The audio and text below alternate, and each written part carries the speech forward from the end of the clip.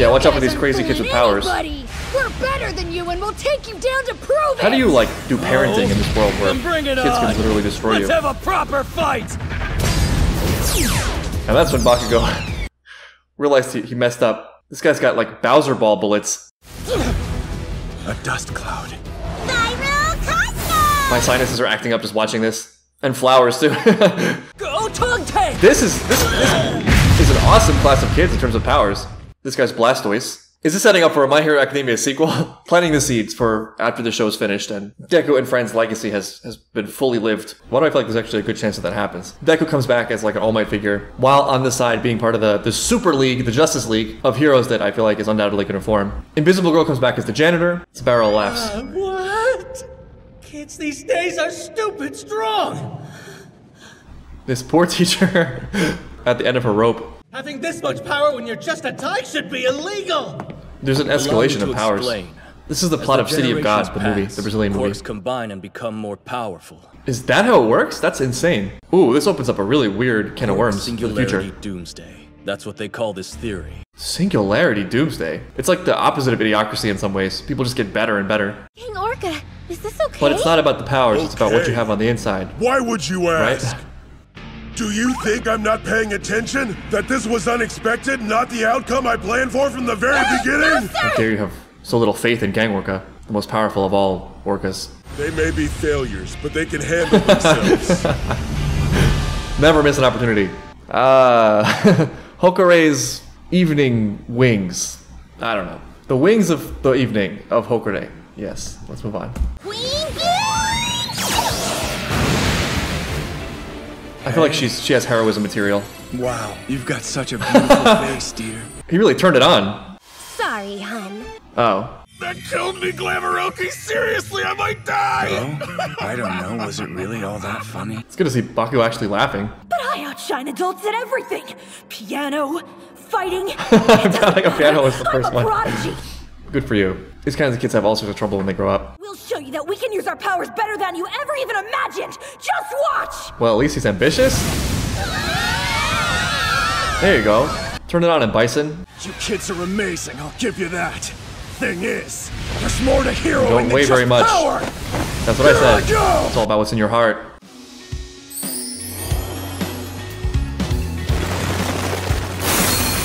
This is actually a really interesting quirk now that I'm seeing that it's more powerful than just shapeshifting. It's sort of uh, like what do you call it? Mysterio in Spider-Man. You can imagine the limits of this just being her own her own creativity. This is an incredibly powerful illusion. Camie's looking great in this this scene. Oh, what? I didn't know these guys could do this. Yeah, neither did I. I'm with the kids. it's awesome. All we gotta do is show these brats how impressive we are. Cause come on, lose to someone you look down on and you feel like crap. That's not the way we're gonna win their Right, they hearts can't. There's no win. Winning, losing to the kids would be the absolute worst. I mean, you never ever live that down for the rest of your life. That's the kind of thing that haunts you. But then on the other hand, beating up children does not feel great. At least you hope. I mean, maybe beating up that one kid would be would be fun and feel good, but for the most part, they're just kids, and you know, you beat them up, and then what? It's like good job, I guess. You beat up a bunch of kids, so there's no way to win in a direct fight unless it's not about the the battle itself. It's just true more generally. I feel like that's one of the big big issues of conflict is losing just feels awful, but winning also doesn't always feel great. A lot of times with arguments, for example, I'll win an argument, but then feel terrible about myself because either I've gone too far and compromised something that I care about, or perhaps like maybe be dishonest or stretch the truth in some of my points, or I've created a negative emotion between myself and the other person, and it's like, man, I really, really missed the important thing here, which was not the argument itself. It was my relationship with this other person. It feels really tough to find that balance sometimes, especially if you're somewhat of an agreeable person, because you don't want to be weak, right? You want to stand up for yourself and you want to be able to fight when you need to, but it's hard to fight efficiently without risking going too far and being able to draw blood. It's very difficult to find that line, and maybe that's part of what this exercise is designed to do, to test their ability to take on a challenge while also showing discretion. It does end up being a surprisingly deep exercise. It's not just babysitting. We have to set them on the right path. Otherwise, they'll end up causing problems. I like how there's a flash of the Deku same there. way I did during the provisional exam. I don't want them to go down that same path. He's talking like he went all the way down a villainous path or something like that. We'd make bad heroes. This has come full circle, this relationship. Get in Bakugo there and takes have on the some leader. fun. you're gonna do it, you're gonna love it. Get your think I'm impressed by this? You're their leader, aren't you, kid? If you Play keep into his looking pride. down on everyone else, you'll never be able to see your own weaknesses. Oh my god, that means so much coming from Bakugo. Holy crap. That comes from a deep place. What he said just This is his now. power. He wasn't talking down to me, but did he really mean all that? Oh yeah, he did. He's also talking to I can feel how true they are. me too, man. Me too. I really, I felt that for sure. After this, it's your turn, ma'am. Make sure you keep this vibe going. No pressure. I mean, all you got to do is build this giant ice roller coaster. It's so important to be the strongest. Tell me, Endeavor. I'm sure you have a reason. Let's hear it. I'm very curious as well. I would love to get into Endeavor's psyche. I love that moment from Bakugo. It was really short. I mean, it's just a sentence, but in classic Bakugo form, it's a it's a very understated way to show a lot of growth and a lot of reflection. I mean, I think that more than just looking down on others being an obstacle to observing oneself, it's actually a deliberate attempt not to look at one's own flaws, or it stems from an anxiety about one's own flaws or shortcomings. I just think it's a much bigger part of life than we than we realize. You know, our own expectations for ourselves and where we are in that in that ranking. To adequately meet one's own expectations is an incredible feeling, but to live in a state where we're constantly falling short in certain ways of our own desires and expectations is terrifying. And so, in those situations, it's way easier to bring other people down than it is to move up to where we're actually satisfied. And to some extent, I think part of it's based on a lack of faith. Like, I think if we're aiming really high in certain things, there's often an insecurity that it's not even possible. And it can be frustrating to also not see it in others. Like, part of us wants to see others succeed because that adds to the faith that it's possible for ourselves. And so sometimes that manifests as just being extra critical of other people who don't live up to, to our own standards. But the core reason is that we're not living up to our own. But I think the more one actually fulfills their own expectations and does the things they want to do, the easier it is to be understanding and sympathetic of others and where they are. There's sort of an internalization of the responsibility that has to happen. I definitely made this mistake a lot. You know, I think I was extra hard on people who are not living up to the ideals that I had picked out for myself. But the more I was able to feel confident about what I was doing, the more I was able to sort of let go and understand that people are where they are and have their own individual journeys that has no bearing on, on me and that all of that can coexist simultaneously. Ultimately, it's wasted energy. You know, there's nothing anyone else could do. There's nothing that my criticism will ever do to make me feel better about myself. It's sort of just an outlet for that frustration. You'll often find that the, the biggest critics, you know, the biggest haters are people who are the most unsatisfied with what they're doing. People who truly feel comfortable where they are, you know, who have proved things to themselves and who have found a role that they feel good about, have the emotional freedom to want the best for others and want to bring other people up. It ceases to be a competition and more just something of beauty that you want other people to experience. I actually feel like that's going to play into whatever Endeavor has to say as well. You students have so much potential. Uh, Avoid I mean, children. don't you Got dare it. fail! Little, little slip up there, a little positive slip up. softy who loves kids. After what we put together in there, I think we're meant to be friends, don't you? this guy's really pushing pushing the friendship angle so hard. If he would just let it go, it would happen organically. I like this little crew that's forming. The reality is that by attacking you, the League went after a school other than UA. Up until now, our schools true. haven't had an especially close relationship with each other. Kind of put all that aside. Water under the bridge. Speaking of perspective, But hopefully, together we'll get a better idea of what the villains want. Cray cray. Additionally, Gamey. Long time no see. You've changed quite a bit. Not interested. Some things have not changed. I want you to know I'm proud of you, son. I swear I'll become someone you can be proud of too. Whoa. Not just as the number one hero, but as the man that you call father. Endeavor sort of bringing it home in terms of what, what matters. That was wholly unnecessary, but alright. Just so you know, I'll be rooting for you. can I can I have an au- autograph? Look, at least he's trying, you know what I mean? Sometimes they have to look behind them. But And Todoroki's one listening. step in front of the other, That's all you can do. they keep moving forward. A lot of huge statements from the characters this episode. First Bakugo and now Endeavor. The fact that he just humbled himself in front of his son and in front of All Might and all these other people. It's no small thing. As the air outside began to grow colder, we tried to come to terms with everything we'd been through. Well, good luck with that. it's, it's too much. It's been like three three weeks since the start of the show. Sir Night Eye's funeral. It was one last chance to say goodbye to him.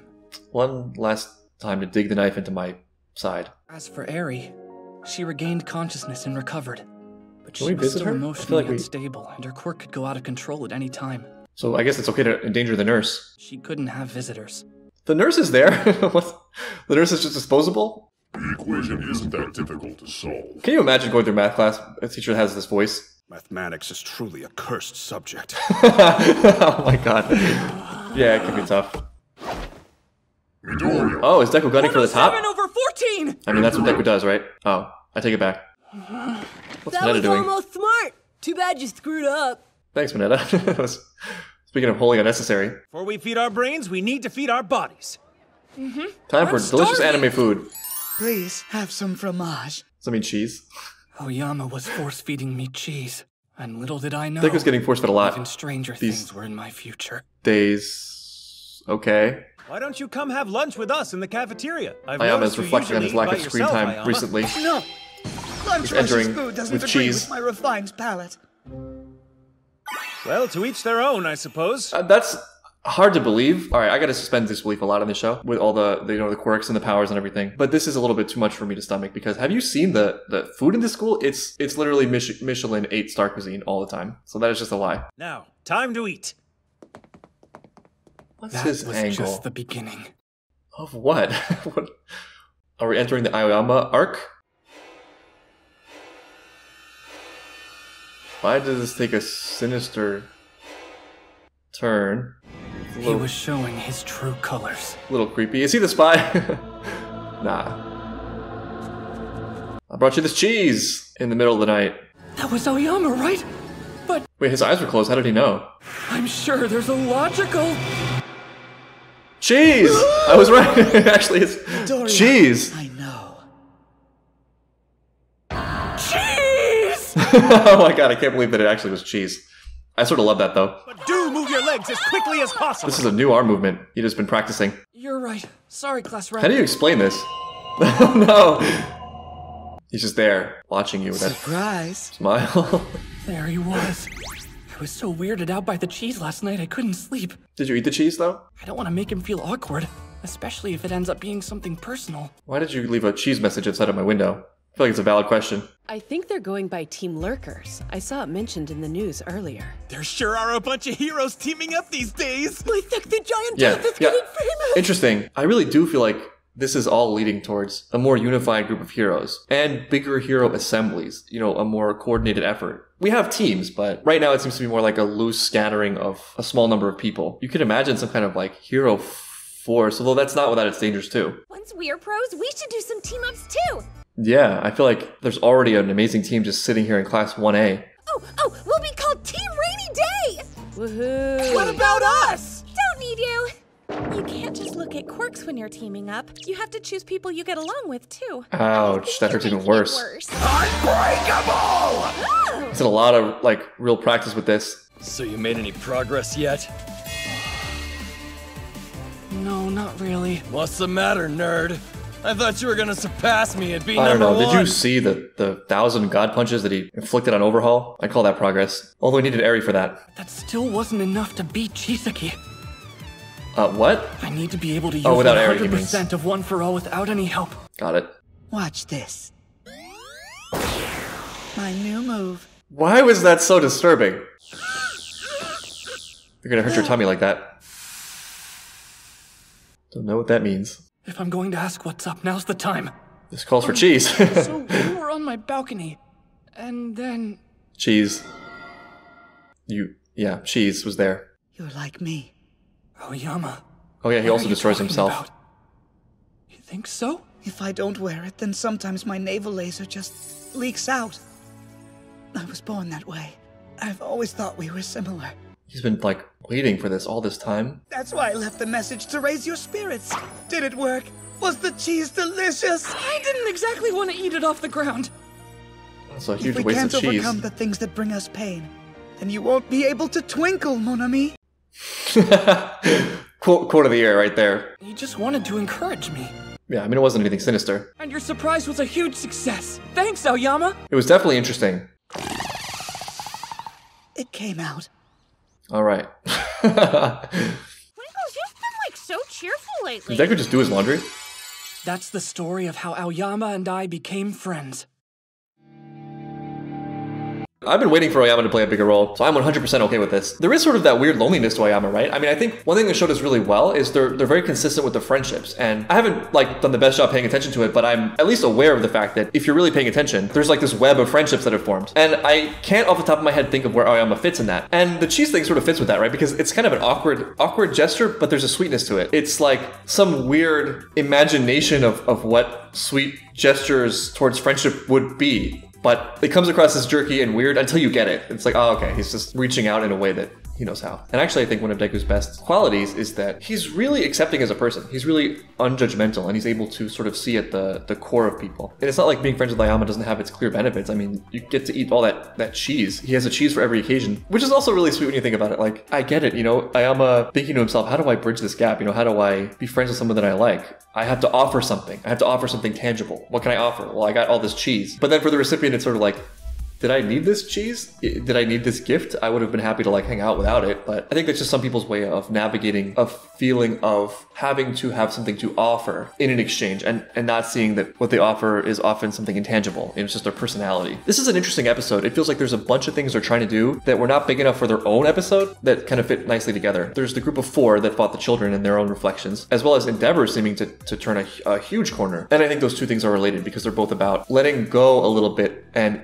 easing up sort of on one's ambitions and how that leads to blind spots in the way they treat others and also in the way they are missing sort of fundamental lessons they need for themselves. I mean, it's no easy thing, you know, it's sort of really easy to turn a critical lens on the world. It's very, very challenging to turn that critical lens on oneself in a way that's productive. And then on top of that, sort of the, the Ayama debut, it feels like in a way. Ayama like pushing his way back into the spotlight. It's funny, so far in this post overhaul arc, I feel like I've, I've come home a little bit. It's nice to get back to this sort of warmth this character warmth and reflection because the overhaul arc was just so so intense and over the top. And underneath it all, I feel like as usual in My Hero Academia, nothing is wasted. This is going to be set up for something really cool. So looking forward to seeing where it goes. And I'll see you next time when I Ayama saves the world for cheese.